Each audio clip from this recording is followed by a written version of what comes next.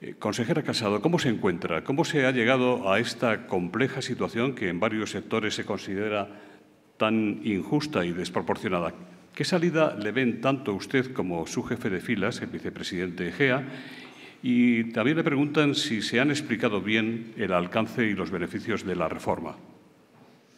Bueno, pues eh, bueno, lo primero que quiero es dar las gracias a Nueva Economía Forum, a Vida Pharma, por la invitación para poder exponer nuestra visión de la sanidad eh, en, España y Castilla y León.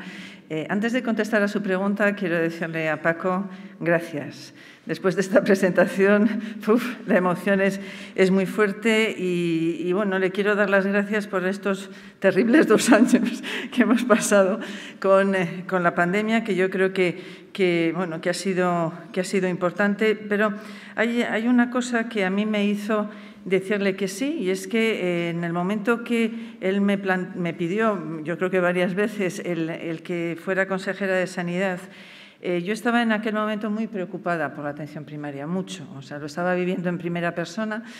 Y entonces había una reflexión de, eh, de Erma Bombeck que decía que la, la, preocupación es como una mecedora, te da algo que hacer, pero no te lleva a ninguna parte. Por lo tanto, en aquel momento preocupada no me servía de nada, pero me ofertaban, me ofrecían la posibilidad de eh, pasar a la acción y de hacer algo que durante muchos años creía que teníamos que hacer, que era reordenar y reforzar nuestro magnífico sistema sanitario. En cuanto a cómo me encuentro, estupendamente. O sea, la verdad es que yo me encuentro bien. Yo soy, soy, bueno, soy resistente, cicladora rápida, sufro, pero bueno, rápidamente me tengo que reponer porque es que lo tengo que hacer. Es decir, en el momento que tomé la, decisión de estar en la consejería, tengo que dirigir la consejería y tengo que conseguir las mayores cuotas de salud eh, para, para, la población. Por lo tanto, em, aparte de cómo me encuentro, que me encuentro bien, pues me encuentro sorprendida. Es decir, si me, si me, si me tuviera que, definir eh, algunas veces cuando oigo cosas, es de sorpresa porque evidentemente yo toda mi vida le he dedicado al sistema sanitario público, toda mi vida he trabajado en atención primaria, medicina de familia y en formación. He asesorado gobiernos y he asesorado ministros, muchos a lo largo del tiempo, y me sorprende que una reforma de ordenación, de ordenación de un sistema cuando está en un momento muy débil y con un a corto plazo unos problemas importantes de, profesionales, se quiera establecer un sistema para intentar reordenar y tamponar esa situación y que tenga el menos impacto posible, pues me sorprende, me sorprenden las críticas, pero sobre todo me sorprenden las críticas que vienen de las personas que nunca se han sentado a escuchar de verdad lo que proponemos o a proponer alternativas. Y eso es lo que me, me choca. Sin embargo, también es verdad que, por otra parte, las nueve sociedades científicas de atención primaria dicen que tenemos que hacer cosas y nos dan el refrendo para hacerlo. Los colegios profesionales estuvimos reunidos y aquí hay, varios en esta, en esta, sala que nos han dado su, apoyo, pero quizá el más especial eh, ha sido el de, el de los, pacientes. Eh, hace muy pocos días nos reunimos con asociaciones de pacientes, plataformas. Ellos son los que realmente eh, em, conocen y entienden el sistema sanitario porque lo viven desde dentro y recibir su apoyo, su apoyo explícito, su apoyo tácito ha sido muy importante. Y no sé si hoy está por aquí la presidenta Karina, creo que está por ahí, la presidenta de, la plataforma de, organizaciones de pacientes, que eh, bueno, nos, nos han dado su apoyo, pero muchísimas otras, otras asociaciones. Y para mí eso ha sido muy, muy importante porque cuando tú les planteas lo que quieres hacer, ellos no solamente lo entienden, sino que te dicen, nos has copiado. No les he copiado, simplemente es que estamos, nuestra línea de acción es muy concordante a lo que muchos pacientes nos han pedido durante muchísimos años. Por lo tanto, em, como mucho a veces estoy sorprendida, pero también es verdad que eh, el ruido lo da la, parte eh, negativa, pero sin embargo hay mucha parte positiva que nos llega, que nos llega todos los días. Detrás de esta operación de acoso y recibo contra usted, ¿cree que existen intereses al margen de los puramente sanitarios? ¿Cree usted, y esta pregunta también se la puedo hacer extensiva al vicepresidente si él desea contestarla, ¿cree usted que está en peligro el gobierno de coalición y que el presidente Mañueco convocará elecciones ante el riesgo de que el PSOE vuelva a presentar una moción de censura? Bueno, a mí esta pregunta ya me la han hecho varias veces y yo siempre he contestado lo mismo. Yo bastante tengo con la sanidad. Es decir, que, creo que eh, la sanidad es eh, muy compleja y que evidentemente eh, hay que, lo que yo me tengo que dedicar es a trabajar y no, y no tengo que estar constantemente pendiente de lo que puede suceder o no. Todas las mañanas, de lunes a domingo, nos dedicamos durante muchísimas horas en nuestra consejería a intentar mantener tener eh, la consejería y, sobre todo, sentar las bases de la sostenibilidad de un sistema sanitario público como el de, el de Castilla y León.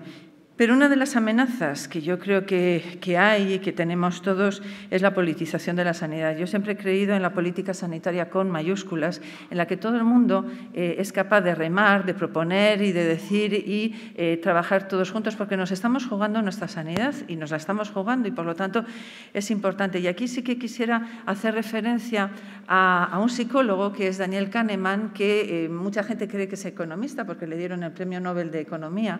Y porque él lo que hacía era intentar eh, aplicar las normas del juicio cognitivo a la economía en la salud. Entonces, él hablaba del ruido del ruido que se produce en torno a las, personas y que, eh, de alguna manera, hace que puedan modularse determinadas decisiones que no deben de ser modulables. Él ponía ejemplos de dos médicos que están ante un mismo paciente con los mismos síntomas, con los mismos signos, y que llegaban a conclusiones diferentes y analizaba por qué en cada médico podía haber esa influencia del ruido, eh, pues determinado un, diagnóstico diferente. Y eso es lo que yo intento siempre evitar, el ruido. El ruido para que no influya sobre eh, decisiones que se toman de una manera eh, con criterios, con indicadores. Tengo la suerte de contar con un equipo maravilloso, que están muchos de, ellos por aquí, que son, bueno, que son el alma de la consejería, que son muy buenos técnicos, que saben muchísimo de organización y de planificación y son los que me ayudan a tomar esas decisiones. Y eh, una de las cosas que, comentaba Kahneman eran los atajos heurísticos. Es decir, eh, él decía que eh, muchas veces perdemos, preferimos no ganar 100 euros, 100, él decía dólares, que perder 100 dólares. Y ahora mismo lo estamos viendo. Eh, prefiero no perder media hora de una asistencia no buena, de una asistencia eh, muy parcial, a ganar una asistencia cinco días a la semana organizada y con, eh, un sustento bueno, pues de, telemedicina y con, y con aportes de la, de la tecnología. Entonces, yo creo que nos tenemos que evadir del ruido. Yo creo que el objetivo es fundamental, que es mantener nuestro sistema sanitario, que es un sistema sanitario muy solvente, reconocido fuera de nuestras, de nuestras fronteras, con una atención primaria muy potente, que da síntomas de eh, mucho cansancio y que tenemos que eh, apostar mucho por ella. Vicepresidente Igea. No voy a renunciar a explicar esto. Yo creo que lo que ocurre ahora mismo y lo que ocurre mucho en la política española, pero lo que está ocurriendo ahora en la comunidad y lleva ocurriendo en España muchos años, es que eh, el escenario está lleno de jugadores a corto plazo. Hay mucho cortoplacista. La política española está instalada en el corto plazo desde hace más de cinco años, con ciclos electorales muy cortos, donde la gente siempre juega a la encuesta siguiente, siempre juega a la campaña inmediata, siempre juega a las autonómicas, las nacionales que se repiten una y otra vez, eh, y a ver si eh, así nos mantenemos siempre subidos en la bicicleta. ¿no? Yo creo que eso es lo que está ocurriendo ahora mismo en la comunidad. Nosotros somos jugadores de largo. ¿Eh? Y yo creo que la política buena, la política que piden los ciudadanos, es la de largo plazo, es la que genera reformas, que generan cambios a largo, que mejoran la vida de la gente. Eso exige ser capaz eh, de, aguantar críticas. Cuando uno se mete en un gobierno de 30 años, eh, llevaba gobernando el Partido Popular en la comunidad, cambiar las inercias provoca ruido y provoca fricciones. Y si no provocásemos ruido y fricciones, lo que querría decir es que no estamos haciendo nada. Y yo me canso de explicar que nosotros no somos un gobierno del Partido Popular, somos un gobierno de coalición, donde gobernamos juntos, ¿eh? pero no somos, no damos apoyo a un gobierno del Partido Popular, sino que gobernamos con el Partido Popular. Y eso produce resistencias. Eh, además, la comunidad es una comunidad muy extensa, con nueve provincias que se comportan prácticamente como nueve o diez comunidades autónomas, si contamos al Bierzo, en las cuales cada uno tiene sus intereses locales en cada sitio, en cada provincia, eh, y en esas provincias, en ese juego a corto, hay mucha gente que hace ruido, como dice eh, Verónica, porque solo piensa en lo inmediato, solo piensa en la siguiente elección, en el siguiente ciclo corto o en lo que ha dicho en la encuesta eh, esta mañana o antes de ayer. Y yo creo que gran parte, sí, perdón, yo creo que gran parte de lo que, de lo que ocurre tiene que ver con eso de la encuesta. Y tiene que ver con una cosa que no ha pasado, yo no sé eh, si ustedes recuerdan alguna, yo no recuerdo ningún consejero de ningún gobierno, ningún ministro de ningún gobierno que tuviera una valoración del 6,5 o 6,1 que tiene Verónica estando en activo. Esto no existe en la política española. ¿no? y cuando uno tiene esa valoración, pues es verdad que hay gente que tiene interés en eh, bajar esa valoración. ¿eh? Pero nosotros no jugamos a eso, nosotros no jugamos a corto, nosotros jugamos a largo, sabemos bien qué es lo que queremos y yo creo que hay una cosa que los ciudadanos de la comunidad sí que entienden, es tienes un gobierno que está funcionando bien. Tienes un gobierno que baja las cifras del paro en septiembre como no se han bajado nunca, que tiene las mejores cifras de pernotaciones en turismo rural, que está generando crecimiento, que está generando, que, lidera los rankings de transparencia en el país. Y los ciudadanos, mm, cuando nos ven hacer estas cosas a los políticos, no entienden nada. Esto del, juego a corto, la patada en la espinilla al socio, le meto el dedo en el ojo, a ver si... Eh, esto no lo entienden los ciudadanos. Y yo creo que Alfonso, que es una persona prudente, tranquila, paciente, también lo entiende, y lo entiende perfectamente. Así que, bueno, hay ruido. ¿Cree, ¿cree eh, vicepresidente, que el presidente Mañueco va a adelantar las elecciones? No, no lo creo. Sé que no lo va a hacer. Porque me ha, dado su palabra y yo confío en la palabra eh, del presidente. No, no, me ha engañado eh, hasta ahora ninguna vez. Es verdad que hay gente que tiene sus urgencias, pero además esto en Castilla y León es poco probable cualquiera que conozca el funcionamiento electoral de la comunidad, la importancia de que los ciclos municipales y autonómicos no se separen, eh, lo que piensa de verdad la gente en la comunidad, nadie lo entendería. O sea que yo creo que hay que dar un mensaje de estabilidad, de tranquilidad, va a haber presupuestos, hemos aprobado el techo de gasto, estamos trabajando con normalidad y además la gente está contenta, y así lo dicen las encuestas. Y la gente cuando ve estas cosas se, queda palmada. ¿Estos señores qué hacen? Yo, yo me he pasado mi vida eh, criticando esto y, yo soy de los que creen que los gobiernos de coalición eh, tienen que ser leales, ¿eh? porque si hay algo que se valora en nuestra comunidad, y yo creo que en nuestro país, es la lealtad. Y la lealtad no es la sumisión, la lealtad no es... Nosotros no somos, somos socios. Y yo he sido portavoz de este gobierno durante dos años. No creo que haya nadie en mi comunidad ni en ninguna parte que pueda decir, oye, tú has estado metiéndole el dedo en el ojo a tu socio de gobierno. ¿eh? Y, yo creo que esto bueno, es una tormenta de verano, hay cosas que son explicables, hay cosas locales, hay mucho ruido local también, pero que hay que dar tranquilidad, porque sobre todo tenemos la mejor consejera de sanidad que uno puede tener, mucho trabajo por delante y en estos dos años aún nos quedan muchas cosas por. Consejera Casado, al margen de la polémica, ¿cuáles son las fortalezas que atesora nuestro sistema sanitario, tanto a nivel nacional como en Castilla y León? ¿Qué debilidades y amenazas se presentan en el momento actual? Bueno, yo creo que tenemos un sistema sanitario eh, que tiene debilidades, que tiene amenazas, pero que tiene fortalezas y las tenemos que reconocer, porque eh, tener una pandemia como la que hemos tenido y demostrar la plasticidad que ha tenido el sistema sanitario para dar respuesta con situaciones en las que teníamos la mitad de las camas de los hospitales estaban ocupadas por una sola patología. Tuvimos que triplicar las camas de, críticos y aún con todo con eso, pues hemos conseguido con todas las intervenciones y sobre todo también con la vacuna, pues pues, eh, disminuir al 90% la letalidad, la mortalidad, hemos conseguido un 75% de disminución de ingresos en UCI, el 80% en las plantas. Es decir, que eh, yo creo que eh, el sistema sanitario es un sistema sanitario que tiene una muy buena arquitectura, es decir, tiene una muy buena confección como, como sistema sanitario, tiene centros, servicios y profesionales reconocidos por sus buenas prácticas, tenemos unos buenos niveles de indicadores de salud, es decir, tenemos una muy buena esperanza de vida, tenemos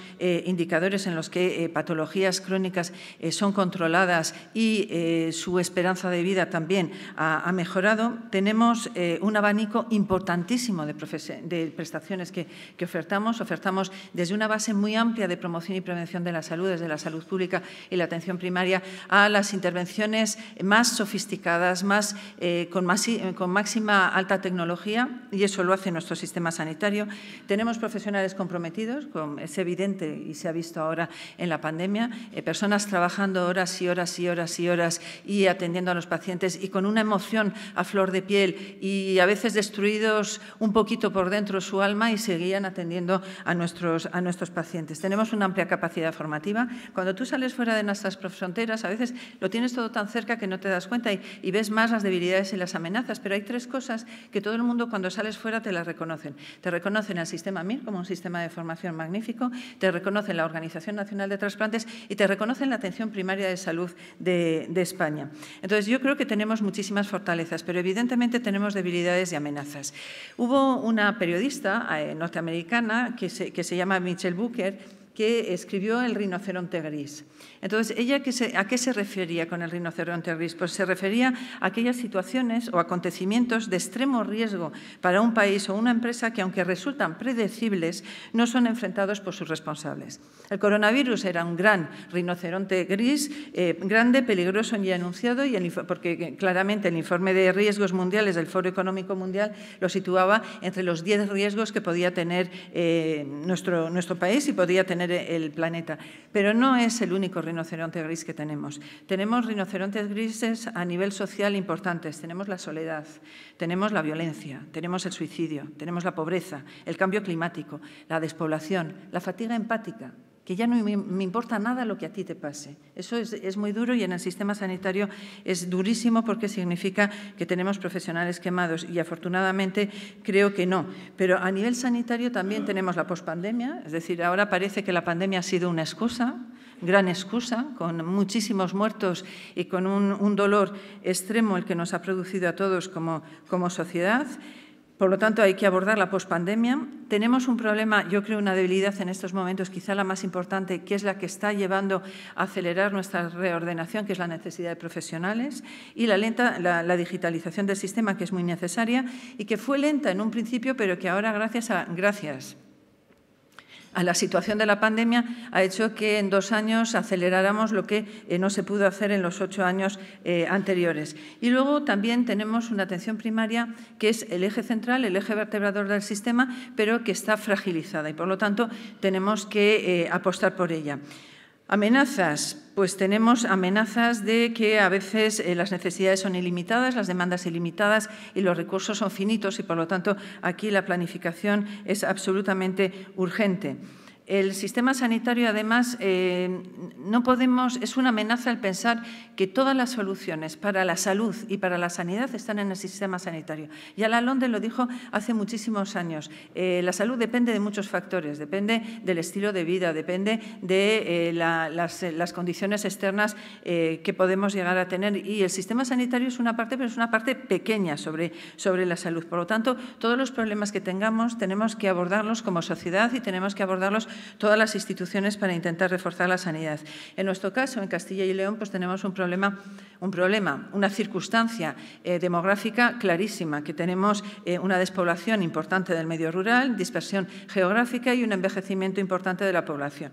El problema es que no solamente tenemos envejecimiento de la población, sino también envejecimiento de los profesionales. Y esto es lo que nos está generando eh, problemas importantes. Vamos a tener 1.030 personas, médicos de familia, que se van a jubilar en los próximos cinco años, con una reposición que no llega a los 670, con lo cual es algo que nos está obligando a plantear la reordenación del sistema y esa es la clave eh, fundamental para este, para este tema. Y luego algo que se ha comentado aquí, que son las reticencias y las resistencias al cambio. Todos de manera natural nos resistimos al cambio, nos cuesta, nos cuesta cambiar, pero eh, hay otras reticencias y resistencias, como bien apuntaba Paco, pues que son eh, interesadas y esos intereses pues a veces generan lo que yo he denominado el, el ruido y el ruido y luego lo que genera eh, el atajo heurístico de la aversión a la pérdida. Tengo la sensación de que voy a perder sin querer mirar lo que puedo ganar y eso nos hace, nos hace francamente difíciles el cambio.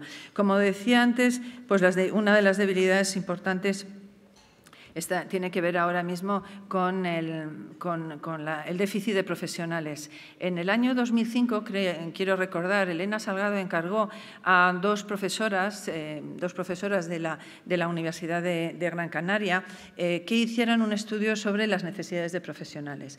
Ya en el año 2007, que hicieron su primera publicación, dijeron que había especialidades en déficit, especialidades que estaban bien y especialidades en superávit. Entre las especialidades en déficit, además hacían una proyección por autónomas y em, dijeron que en, el año, en los años en los que estamos ahora íbamos a tener un déficit muy importante de 18 especialidades. Y lo calcaron. Tenemos un déficit importante de 18 especialidades. Nosotros, de manera oportunista, queremos, eh, a medida que se vayan produciendo las jubilaciones, ordenar el sistema de manera que podamos tamponar esa, esa situación. Y una de las, de las grandes cosas que queremos hacer en la reordenación del sistema es intentar ordenar los recursos para que todo el mundo tenga acceso a la sanidad pública sin, eh, sin problemas y los cinco días a la semana. Por lo tanto, yo creo que ahora mismo eh, tenemos muchas oportunidades para intentar mejorar nuestro sistema. En su opinión, consejera Casado, ¿cuáles son los principales retos y las oportunidades que se han de acometer y qué acciones y estrategias se proponen desde Castilla y León, no solo para la sanidad regional, sino también para la nacional?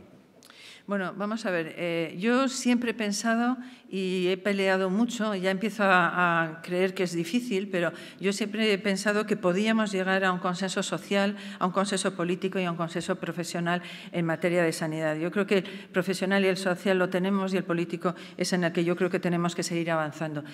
tenemos una oportunidad y esa le hemos, le hemos eh, aprovechado bien, que ha sido potenciar la transparencia y la información como instrumento de mejora. Y ahí, con el vicepresidente y con consejero de, Transparencia, la Consejería de Sanidad ha trabajado mucho en intentar dar muchísimos datos para que la población estuviera muy informada. Es decir, tener siempre los datos y eso ha llevado a que bueno, se recibieran muchísimos premios reconociendo el portal de transparencia. Tenemos que reordenar la asistencia porque nos tenemos que adaptar a las nuevas necesidades y a los avances tecnológicos. Tenemos que renovar las infraestructuras. Tenemos que buscar, y yo creo que contamos con ella, con la complicidad de los profesionales y sobre todo la apuesta que ellos mismos hacen con las herramientas tecnológicas, con el anillo radiológico, el petitorio electrónico, los escritorios profesionales, las consultas telemáticas. Tenemos que conseguir hacer de la salud pública y la salud comunitaria un verdadero eje de actuación. Eh, si algo ha demostrado los últimos años que estamos en nuestra consejería, ¿verdad, Carmen? Que Carmen es mi directora general de salud pública, que la salud pública es, es un eje indispensable. Y, eh, desde luego, eh, ya empezamos con la carne mechada y seguimos con el coronavirus y hubo varias situaciones entre medias que nos demostró que esto es así y no tienen que ser palabras, tienen que ser hechos y tiene que ser financiación. Tenemos que estabilizar el empleo, tenemos que acabar con la precariedad laboral y esto estamos haciendo un esfuerzo importante para intentar em, que haya, eh, bueno, pues eh, que tengamos contratos eh, fijos lo más, lo más largos, pero sobre todo concursos de oposición y concursos de traslado de una manera sistemática para estabilizar el empleo. Y luego hay una cosa importante que tiene mucho que ver con lo que he dicho de la gran debilidad que tenemos de necesidad de profesionales y es que tenemos que equilibrar la oferta y la demanda. En estos momentos ofertamos muchos más puestos de trabajo que demanda laboral tenemos. Entonces, ya se empezó a vivir que íbamos a tener problemas en el momento que ya se vio que no había suficientes profesionales para poder sustituir eh, a los profesionales que se van de vacaciones o que enferman, entonces, y que se tenían que acumular los propios, los propios profesionales. Pero no se hizo caso a esas señales de alarma y en el momento actual pues, nos encontramos con un problema de déficit importante. Tenemos que relanzar la atención primaria y no solamente la atención primaria rural, que en nuestro caso es muy importante por lo que he dicho antes de la dispersión, sino también la atención primaria la atención primaria urbana. La atención primaria urbana está sufriendo mucho con unas presiones asistenciales muy altas y desde luego tenemos que intervenir y tenemos también que trabajar en las emergencias, en las urgencias y en nuestros hospitales. Y luego tenemos que incorporar, eh, yo creo que profesionales que son absolutamente eh, claves, otras profesiones como pueden ser fisioterapeutas, como pueden ser más trabajadores sociales, como pueden ser psicólogos, porque pueden ser muy importantes a la hora de blindar nuestro sistema. Hay una cosa que yo siempre recuerdo y es que Albert Einstein decía, si buscas resultados distintos, no hagas siempre lo mismo.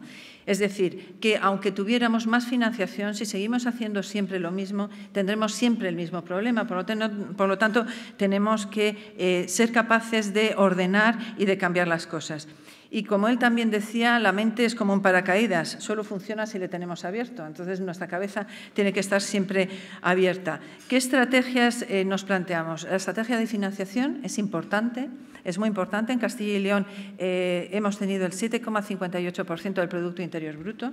Hemos conseguido ya el 20% de ese Producto Interior Bruto dedicada a la atención primaria y estamos con muchas líneas de trabajo. Estamos con el plan de salud, con la ordenación de profesionales, con la reordenación y refuerzo de la atención primaria. A mí la verdad es que me sorprenden las críticas porque lo único que queremos es dar potencia a la atención primaria, dar la fuerza, porque sabemos que la atención primaria es la que apuesta por la, por la salud eh, de manera de manera directísima. Hay muchísimas evidencias, todos apuestan por la salud, pero quien la puede prevenir y quien la puede fortalecer es ese sistema inicial que puede hacer mucha promoción y prevención de la salud.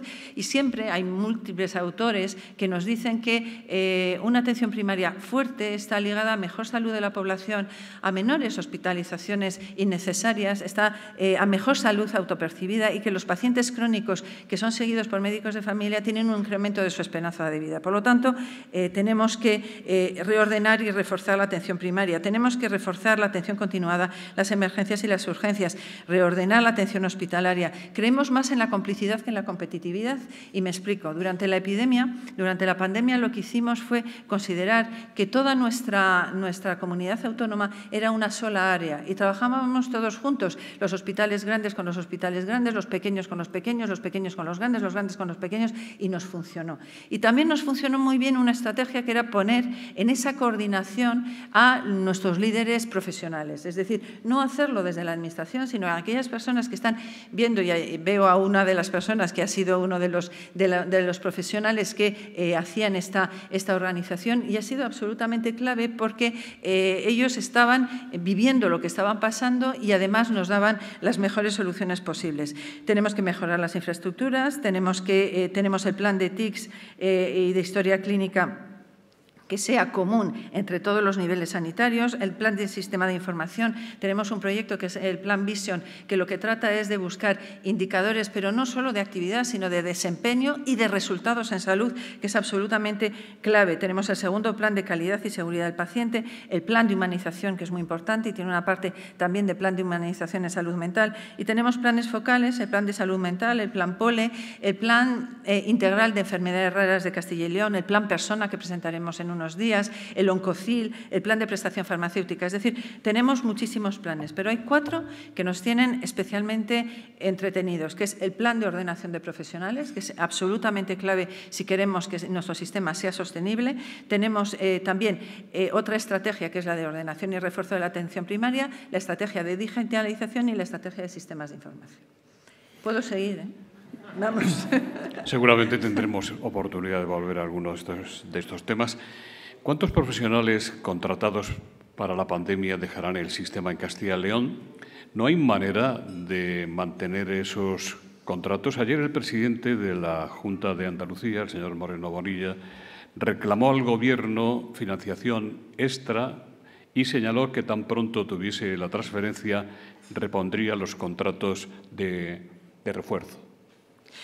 Bueno, nosotros lo que queremos y lo que estamos haciendo es vincular la contratación de las pandemias con la reordenación del sistema sanitario que queremos hacer. Por lo tanto, yo creo que habrá muy, muy pocas personas, mm, creo pensar que casi ninguno que se vaya a quedar fuera. Eh, como decía antes, nosotros ahora vamos a hacer una inversión muy fuerte en el año 2022 y 2023 de 175 millones de euros, 46 millones de, va a ser en personal, 15 millones en atención primaria y 31 para atención continua y sobre todo va a ser para contratar. La mayor parte de, estas personas contratadas son casi todas enfermeras, TCAES, es decir, varias, varias profesiones y todas ellas van a ser eh, reincorporadas al sistema porque vamos a necesitar en atención primaria 287 enfermeras, en atención continuada eh, me parece que eran también 212, es decir, casi 500 enfermeras. Vamos a incorporar TCAES, vamos a incorporar administrativos, fisioterapeutas, trabajadores sociales, es decir, que gran parte del volumen de los profesionales que nosotros contratamos para la pandemia, para las vacunaciones, para las pruebas diagnósticas, para el rastreo, muchas de esas personas, gracias a la reordenación que queremos plantear, que no es recorte ni muchísimo menos, sino refuerzo del sistema sanitario, van a quedar incorporadas en el sistema. La incidencia de la COVID se ha incrementado en Castilla y León. Ustedes reconocen que es preocupante el crecimiento de los casos en el Reino Unido y otros países europeos, aunque el 90% de los municipios de la región están libres de coronavirus. David Aragonés, de Castilla y León Televisión, dice el Ministerio de Sanidad informó ayer de que se han detectado 35 casos de la variante Delta Plus en España dos en Castilla y León, y le pide una valoración de la peligrosidad de esta variante y una actualización de los datos en la región. ¿Cree que estamos abocados a una nueva ola o estamos ya en ella?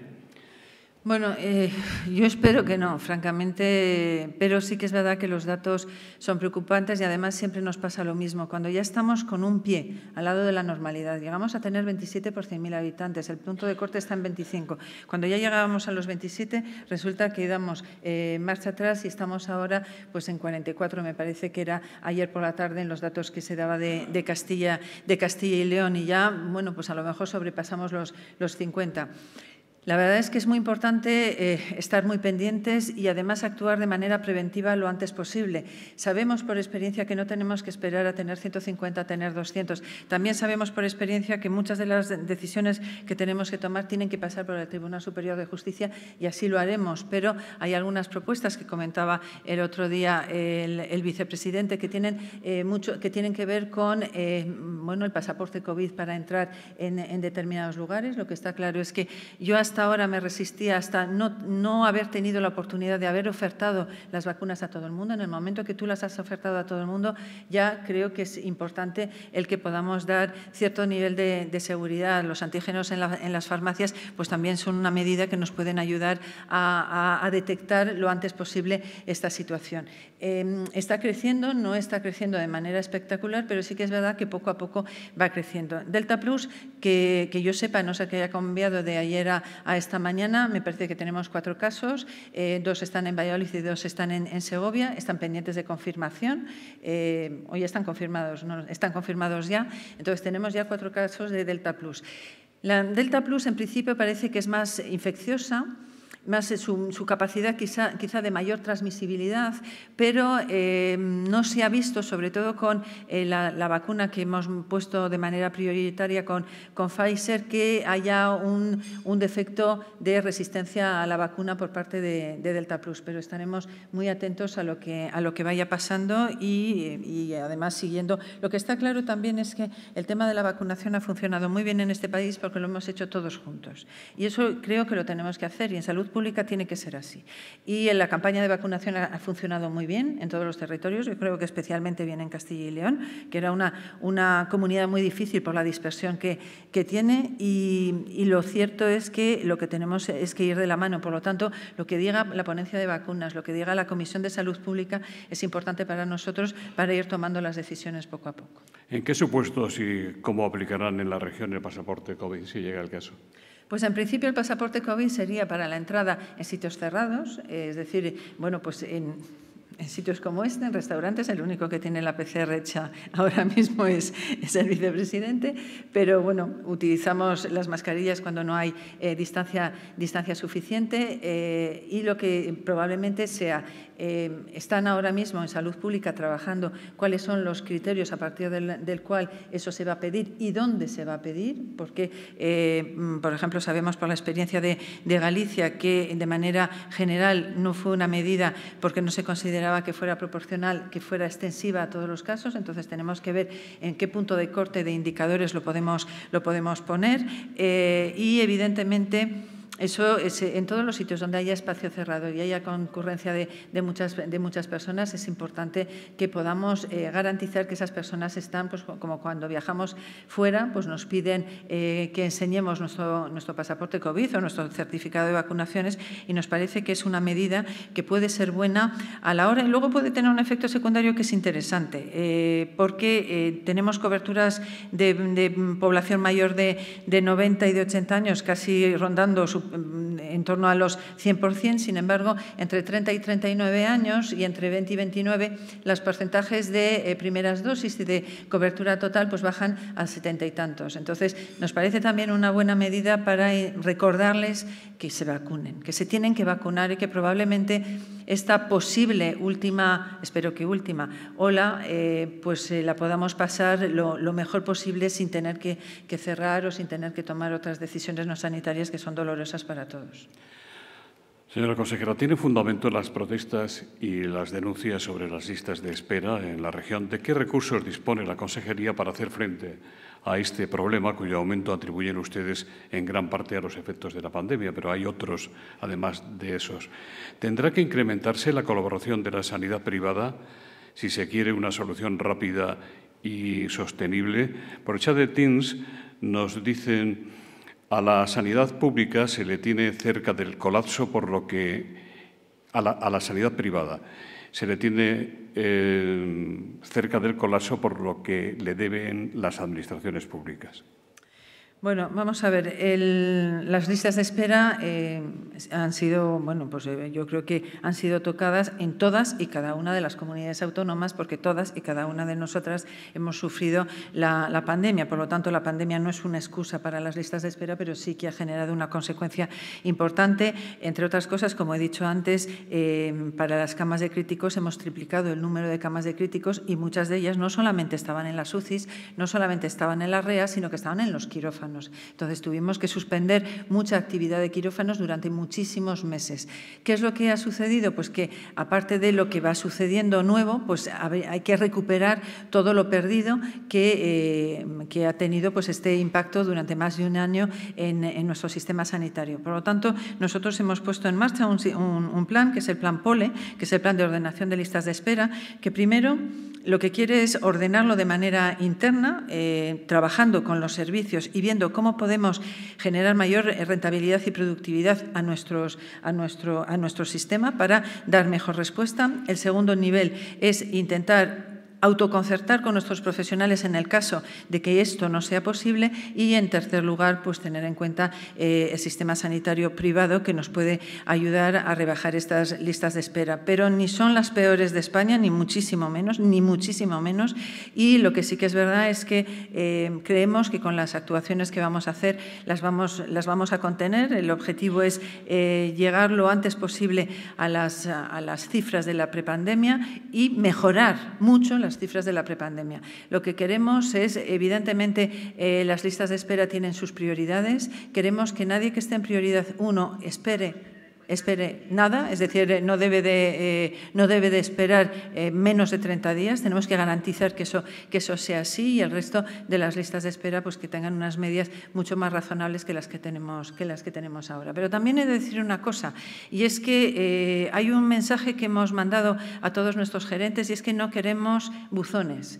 ¿Qué es el buzón? Es el sitio donde queda esa, esa demanda sin, sin, registrar y sin adjudicar eh, cita. Y aunque la cita pueda llegar a parecer dolorosa porque es de, de, mucho tiempo, es una cita que nos permite saber que está ahí y gestionarla y acortarla y hacerla dinámica. Pero si yo no la conozco porque la tengo en un buzón, pues evidentemente tengo un problema. Con lo cual, lo que nosotros queremos es aflorar el problema. Nosotros no hemos tenido nunca, jamás miedo a los datos malos. Preferimos saber los datos malos para poderlos corregir, pero si yo no los conozco, si los tapo, pues no los conozco y por lo tanto no puedo eh, intervenir ni puedo poner en marcha los tres escalones que tiene el plan de ordenación de la lista de espera.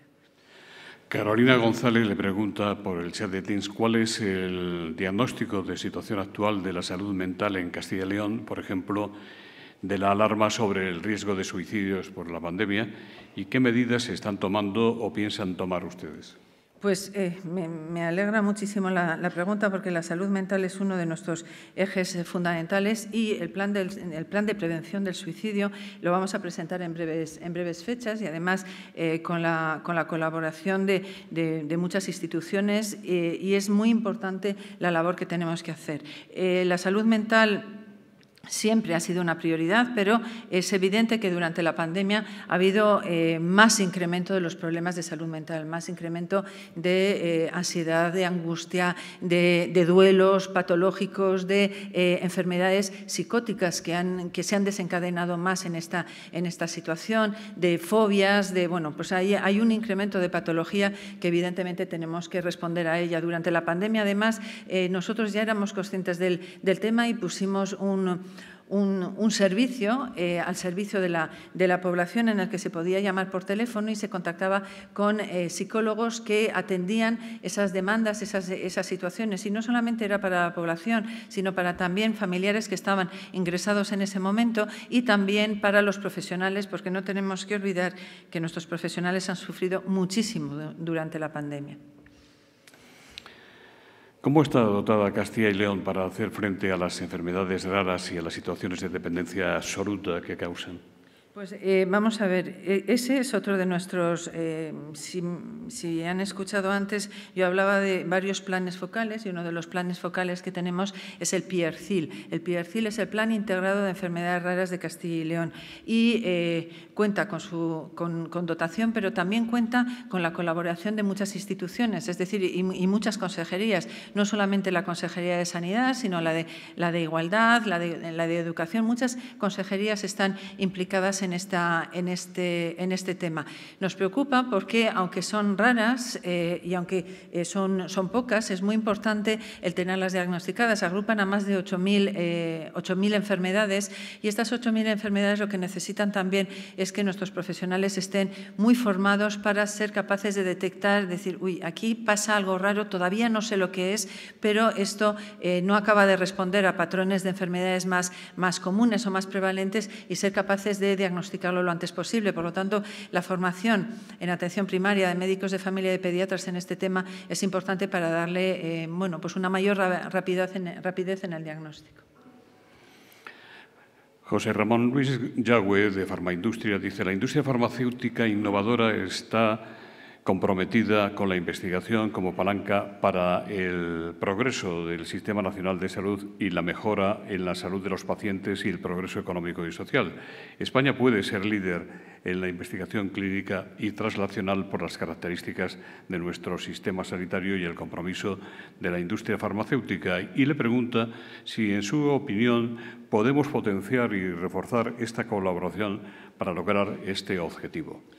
Lo tenemos que potenciar porque además somos aliados naturales, es decir, es, importantísimo la, farmacia en nuestro, en nuestro caso, sobre todo la buena utilización de los fármacos basados en la evidencia, eso es clave, es clave para hacer bien las cosas, para diagnosticar, para no entrar en una escalada de efectos secundarios cuando no están bien indicados. Entonces, eh, yo creo que la colaboración que hemos mantenido con, con, las prestaciones farmacéuticas y con, la, con las farmacias es fundamental y es clave. Y además, eh, ¿cuándo acá se ha conseguido en un año tener una vacuna? ¿Cuándo acá? Es decir, eh, y eso han demostrado que eh, la industria farmacéutica apuesta por la innovación, apuesta por eh, dar soluciones y, evidentemente, a nosotros pues, nos ha salvado la vida. Ha salvado la vida a muchísimas personas por esa apuesta con, las vacunas. También se está trabajando mucho en, nuevos fármacos para intentar ver si bueno, tienen cabida para el COVID persistente. Entonces, bueno, hay muchas líneas de, de trabajo en el momento actual, pero evidentemente la Asociación de las farmacia, los farmacéuticos, la industria farmacéutica son absolutamente claves para un sistema sanitario. José Luis Eras Celemín, del Mundo Financiero, le pregunta si usted nota falta de apoyo del Ministerio de Sanidad a la sanidad que usted representa. No, vamos a ver. Eh, a ver, eh, puede haber en algún momento eh, discrepancias y las hemos, las hemos tenido. Nosotros hemos sido siempre muy peleones, pues muy peleones para el, bueno, en su momento el toque de queda y al, día siguiente se, se, declaraba, muy peleones a la hora de poner en marcha determinadas estrategias. La estrategia de, de atención primaria le hemos peleado mucho, la de salud mental también, pero no hay. yo creo que, que ha sido muy bueno el que tuviéramos el Consejo Interterritorial y que el Consejo Interterritorial hemos tenido eh, muchas semanas, muchísimas semanas que nos reuníamos, nos reuníamos todos los días, todos los días. Luego después, después pasamos a una vez a la semana y lo, y lo que nos ha enseñado a todos es que es muy importante y las veces que hemos ido todos juntos las cosas nos han ido muchísimo mejor. Entonces, a mí me parece que el Consejo Interterritorial del Sistema Nacional de Salud eh, y el Ministerio de Sanidad con todas las consejerías es, clave eh, para, para todo, para la salud pública y para la salud en general y para el sistema sanitario en particular. Gabriel del Pozo, de CENS, dice, ¿cómo piensa aumentar la oferta docente en medicina familiar si el número de tutores es insuficiente para la oferta actual por el número de renuncias actuales? ¿Cómo se van a valorar las nuevas unidades docentes a acreditar?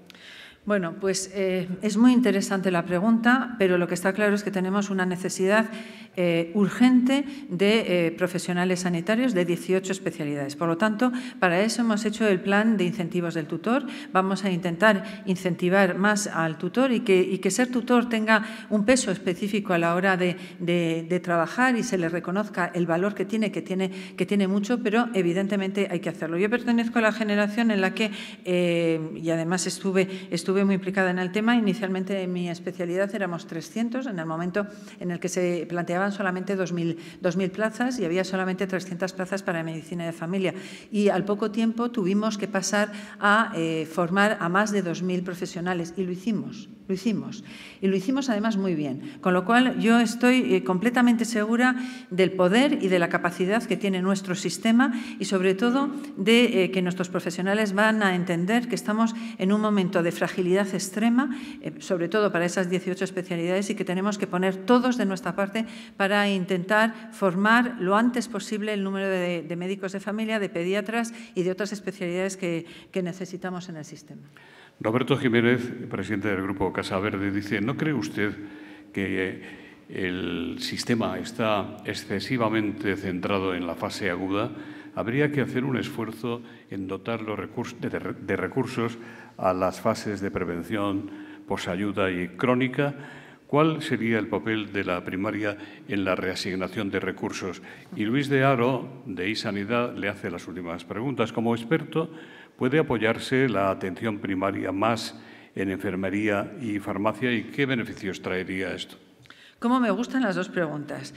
Eh, vamos a ver, en, la, primera era eh, si teníamos que, a ver, que no conteste otra cosa. Sí, eh, si no cree usted que el sistema está excesivamente centrado en la fase. Totalmente. Vamos a ver, eh, yo estoy totalmente de acuerdo en que el sistema sigue estando muy centrado en el paciente agudo. Eh, esa es absolutamente fundamental eh, nuestra, nuestra visión hacia el paciente crónico y el paciente frágil. Y lo he dicho al principio en la intervención, cuando tú haces que un sistema sanitario pivote sobre la atención primaria y la atención primaria es sólida, solvente y eh, tiene medios suficientes para, para resolver, resulta que la esperanza de vida de los pacientes crónicos es más larga y resulta que además tiene menos hospitalizaciones innecesarias. Y esto no lo digo yo, sino lo dicen múltiples estudios en los que se refrendan con en múltiples situaciones y múltiples países analizados.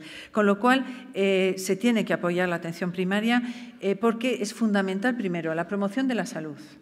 Tenemos que promocionar la salud, tenemos que elevar el nivel de salud, porque mi salud no es el sistema sanitario el que es responsable de mi salud, soy yo el que me tengo que cuidar, soy yo el que tiene que saber lo que tengo que, lo que, tengo que hacer para, para cuidarme. Pero luego después tenemos que ser capaces de la prevención, la prevención eh, de la enfermedad en sus, en sus momentos iniciales. Y yo creo que el gran papel que ha jugado la atención primaria en nuestro país y por lo que está considerada entre las tres primeras de, de Europa ha sido precisamente por eso, porque se ha incorporado la prevención como una de las actividades propias de la atención primaria. El hecho de detectar patologías rápidamente, el que en el cáncer de mama se diagnostique antes el cáncer de colon, el cáncer de cervix, el que eh, seamos capaces de trabajar con los factores de riesgo de la población, el tabaco, el alcohol, la, la comida, la nutrición, etcétera, etcétera. Todo eso, si se hace donde se tiene que hacer, que es en el primer nivel sanitario, evidentemente los niveles de salud mejoran y eso se ha demostrado aquí aquí en nuestro país.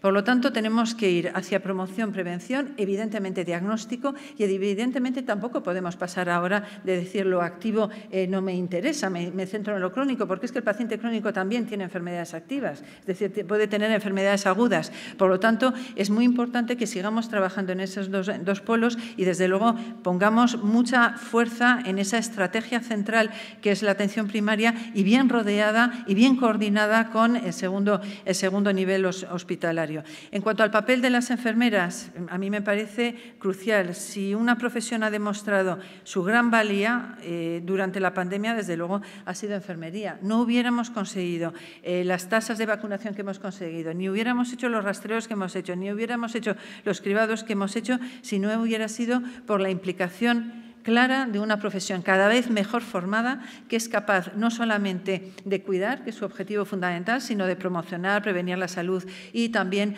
pues, eh, acompañar a los pacientes durante su tiempo. Por eso, eh, para nosotros, una de las estrategias fundamentales es apoyarse eh, también en la enfermería, hacer que los equipos sean de uno a uno. Ahora mm, tenemos algún ejemplo en, Castilla y León que tenemos tres médicos por una enfermera. Eso no puede ser. En Suecia dirían que estamos locos porque lo hacen al revés. Un médico por tres enfermeras. Entonces, em, esas cosas tenemos que ir avanzando. En cuanto a los farmacéuticos, a veces decimos que la puerta de entrada al sistema sanitario es la es la atención primaria. A veces la puerta de entrada al sistema sanitario es la farmacia. A veces es el primer sitio donde ellos van, donde van nuestros pacientes. Y además ellos eh, actúan como sistema de alerta, es decir, de alguna manera eh, nos dicen, oye, que no sé qué está pasando, pero em, bueno, no solamente a nivel puntual con un paciente de que yo creo que no se está tomando la medicación o a mí me parece que aquí hay algo que no está claro, que nos ayudan un montón en hacer esas cosas, sino a, veces ellos son, eh, detectan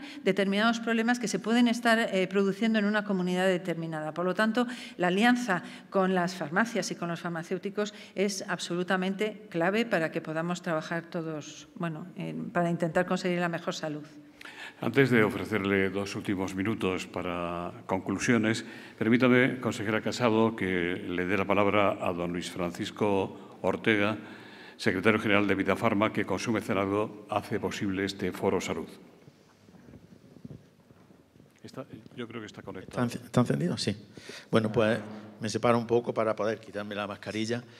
Eh, bueno, en primer lugar, dar las gracias a Nueva Economía Forum por la organización de este nuevo evento, de esta nueva, este nuevo foro salud, en la que nosotros como Vidafarma nos sentimos orgullosos de, de participar en esta iniciativa y para poder aportar nuestro, nuestra nuestra, en fin, nuestra aportación, querer, querer, participar para aportar todo lo que esté en nuestra mano y, creemos que en la, en la, organización de estos eventos, el contar con, con, consejeros de salud, como estamos haciendo últimamente, como se está haciendo, pues nos permite conocer la realidad cercana de cada una de las comunidades. En este caso, queremos agradecer, por supuesto, la, la presentación que ha hecho mm, el vicepresidente de la Junta de Castilla-León, don Francisco Egea, una presentación por la que nos ha, ha dado a conocer el perfil humano, profesional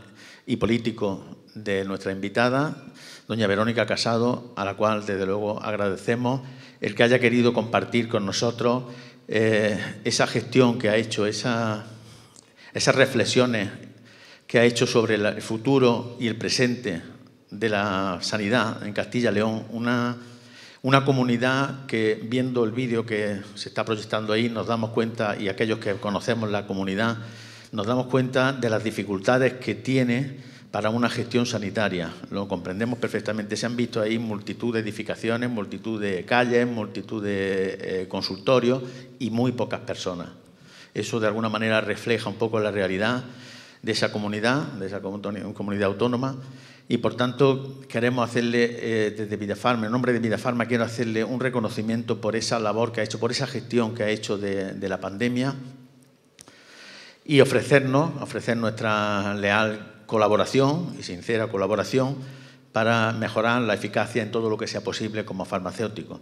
Creo que si la pandemia ha dejado ver claramente la, las, debilidades y también la fortaleza del sistema sanitario, También ha dejado claro el papel fundamental que puede aportar la farmacia, como última, en las últimas preguntas ha respondido la consejera, ha explicado ese papel que puede jugar la farmacia, sobre todo en una comunidad donde la población, las localidades están, están con un riesgo extremo de despoblación, donde hay multitud, cientos y cientos de poblaciones de, de menos de 500 habitantes donde el único referente sanitario, el primer referente sanitario que tiene el paciente es la oficina de farmacia, el farmacéutico, que efectivamente puede servir como centinela para, alertar de situaciones complicadas. Así que eh, desearle al, vicepresidente de la Junta, al consejera de Salud, pues todo, que todas sus decisiones sean acertadas. Eh, desearle todos los éxitos del mundo porque será siempre, serán siempre en favor seguro de la defensa de los intereses de los pacientes y espero que también, supongo que también, de los profesionales sanitarios. Y a todos ustedes, a todos los que nos han acompañado esta mañana aquí en el foro, darles las gracias por su asistencia y también a aquellos que lo han hecho mm, por vía telemática. Así que muchas gracias y espero que en las próximas, en próximas ocasiones nos volvamos a reunir. Gracias. Gracias.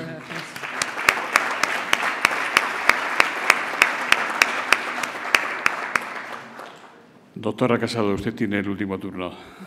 Muy bien, pues muchísimas gracias. Bueno, yo también eh, les agradezco a todos ustedes que hayan estado aquí escuchando atentamente. Eh, eh, para mí es un placer ver esas caritas que me miran y que están esperando a ver qué puedo contar sobre, sobre la sanidad, tanto de Castilla y León como a nivel, a nivel nacional. Por lo tanto, para mí ha sido un placer estar, estar hoy aquí.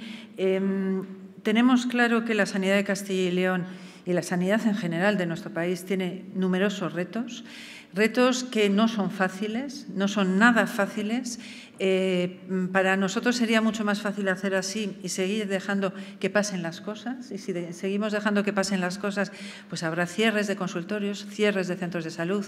Eh, pero si lo organizamos, seguiremos atendiendo perfectamente a nuestra población. Y además, cuando me comentaba que con menos de 500 tarjetas y menos de 50, o sea, tenemos muchísimos núcleos poblacionales con menos de 50 personas.